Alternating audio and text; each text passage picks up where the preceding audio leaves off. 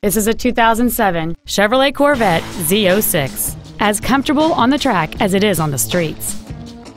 It has a 7.0-liter eight-cylinder engine and a manual transmission.